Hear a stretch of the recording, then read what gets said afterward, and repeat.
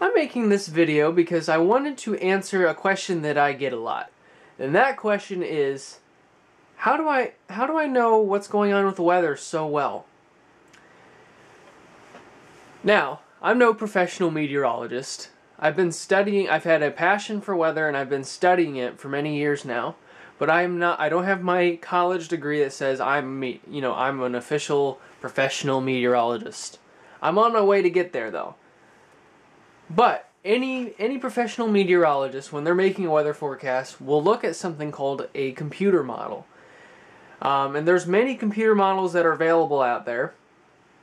Now, for time's sake, I'm going to look at just one of them. This particular model is called the GFS, the Global Forecast Solution. I think. I think that's what it's called.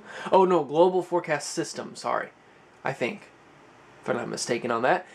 Um, and like I said, just for time's sake, we're just going to look at one. If you want to have the more the more models you look at, and the you know the more the more accurate your forecast will probably end up being, typically.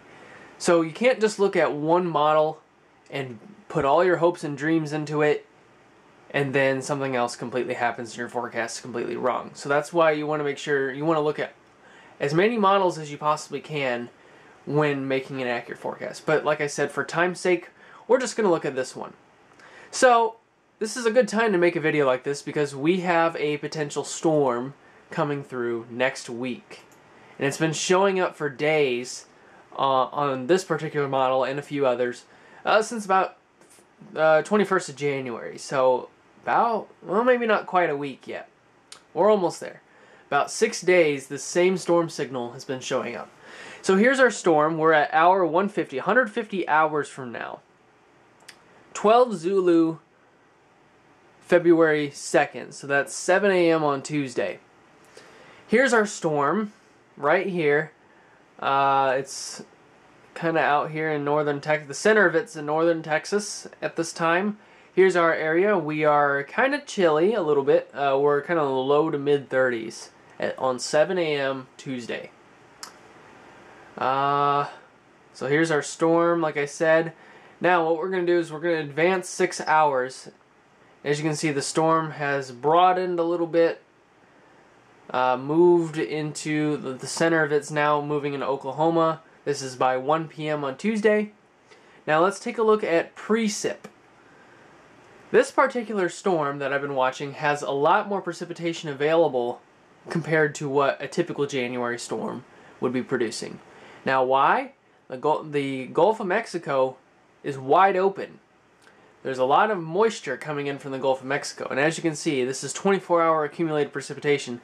So, over a 24 hour period ending 1 p.m. Tuesday, as you can see, there's like areas well over one inch of liquid precip equivalent here in like northern Kansas, southern Nebraska, and Colorado. No precipitation in our area Tuesday afternoon. So, According to this model, Tuesday afternoon is going to remain dry. According to this model. It may end up being rainy. We, we just don't know yet. We don't know details because it's so far out. Alright, now let's go forward another hour. Now the precipitation is starting to get into our area. As you can see, really heavy precipitation to our south and lighter amounts in our area. This is by 7 p.m. Tuesday.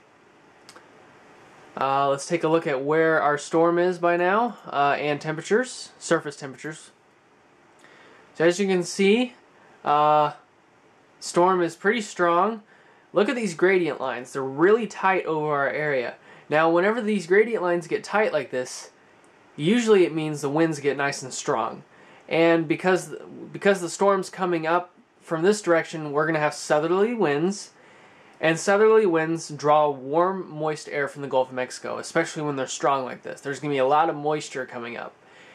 Uh, and the temperatures have probably, yeah, the temperatures have increased. Still, probably not as warm as what they could be. We're still like in the mid to upper 30s. Uh, but the temperatures are definitely rising with this storm. Uh, so let's advance another hour. The center of the low pressure is now moving into Illinois by 1 a.m. Wednesday. The temperatures are actually rising They're not they're not dropping. They're they're rising through the night because we have this strong southerly wind in in place. And at this time, this is probably when the heaviest precipitation is going to fall, according to this model. As you can see, a lot heavier precip over our area, anywhere from three quarters to one inch of accumulated precipitation over that 24-hour period. And it just and it accumulates even more as we uh, continue to move into Wednesday morning. Now, the center of the low pressure is going to go almost, if not right over our area, as you can see right here. Now, the winds are supposed to get nice and calm. You know, it's kind of like being in the eye of a hurricane. You know, things get nice and calm, somewhat. I mean, it's not going to be entirely calm, not that calm, but the winds are going to be a lot lighter whenever the center of low pressure is over our area. Or at least near our area. This is according to what, what this model is saying where the track is going to be.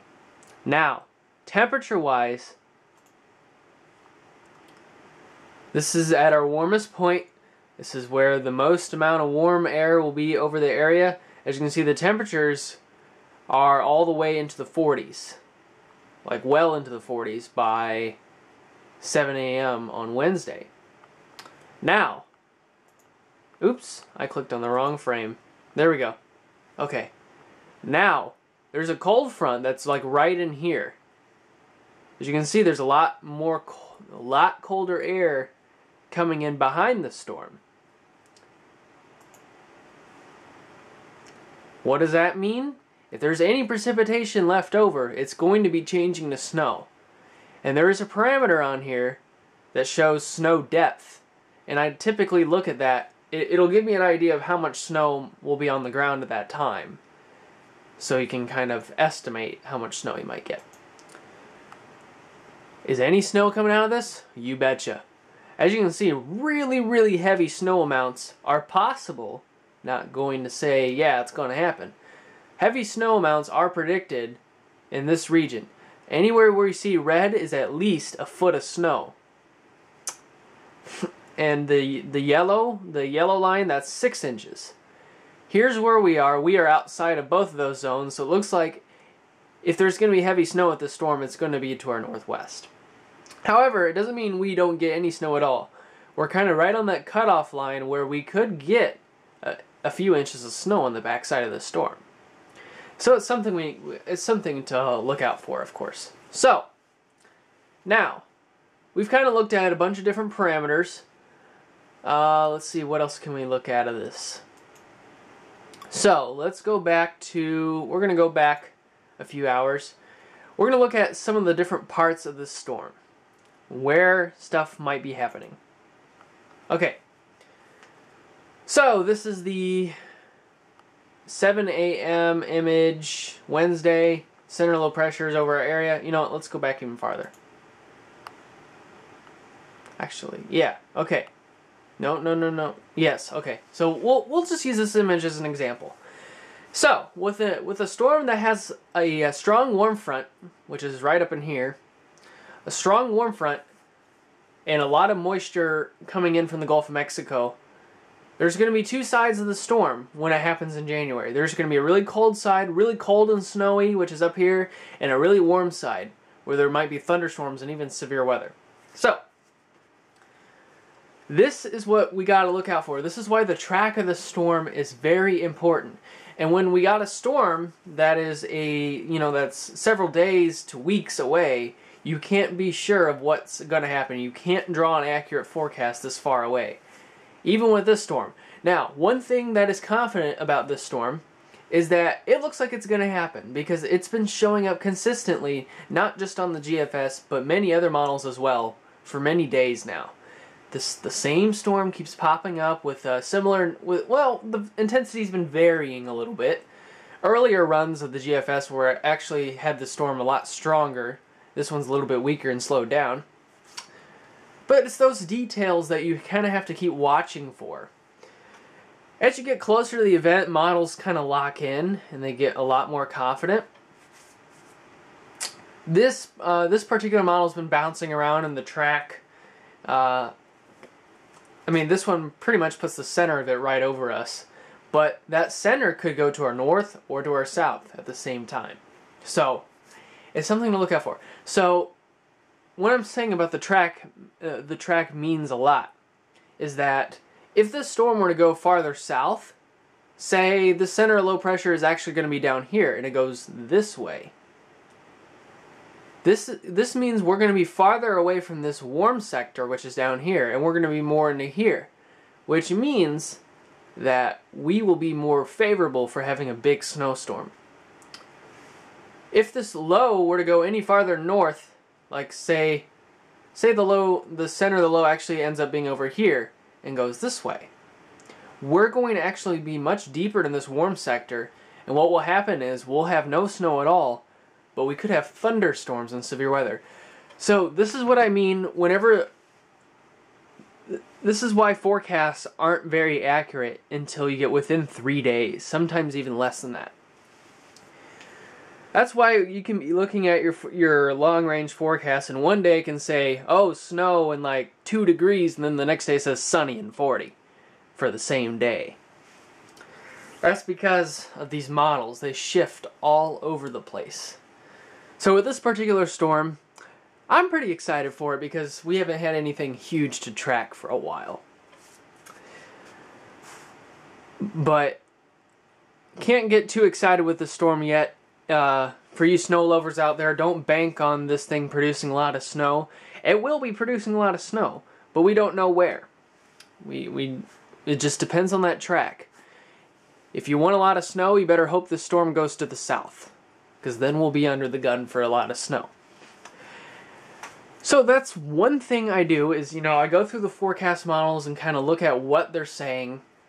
And then what I do is I go to the National Weather Service and look at their forecasts because they're they're the professionals. Uh, let me zoom out here. See, we got a chance of rain on Sunday. That's actually with a uh, weaker system that will be passing through ahead of the big one. Now, their forecast only goes out to seven days. This for this storm's a little bit beyond that, so we don't have a good forecast. But at the onset of precipitation from the storm, which is Tuesday, as you can see, they say a chance of showers, a high near 41. So they're kind of there's solutions anywhere from being really cold and snowy to being warm and potential severe weather. Looks like they're leaning more on the warm side right now. As of right now, this could change. They're leaning more towards uh, a rain, mostly a rain event with maybe some snow mixing in. So you kind of look at that, you know, what are they agreeing with, and you kind of, if you want to make your own prediction, you go somewhere in between that. And I did mention that there is severe weather possible with this storm based on how much moisture is available, and look at this. Seven days in advance, the Storm Prediction Center has an area drawn out where severe weather might happen from the storm. Day seven, that is, what's day seven? Day 7 is on Tuesday. So Tuesday, it looks like this is where severe weather could happen, based on the current storm track. As you can see, that's well south of our area. Now, like I said, if the storm is to shift to the north, this little, this area that they've highlighted will also shift with that track. So it's something to watch out for. Well, I've been rambling for almost 15 minutes now. I didn't think I'd go that long, but those are just some of the things that I do and what any professional meteorologist would do whenever they're drawing out a forecast. So, um, like I said, big storm possible next week. It could produce anything from thunderstorms and heavy rain to potentially heavy snow and maybe even a blizzard. That's that's just the that's just the gist of it. Um, so, or it could produce nothing. You never know. So, that's about all I have for you. Uh, so thank you for watching this.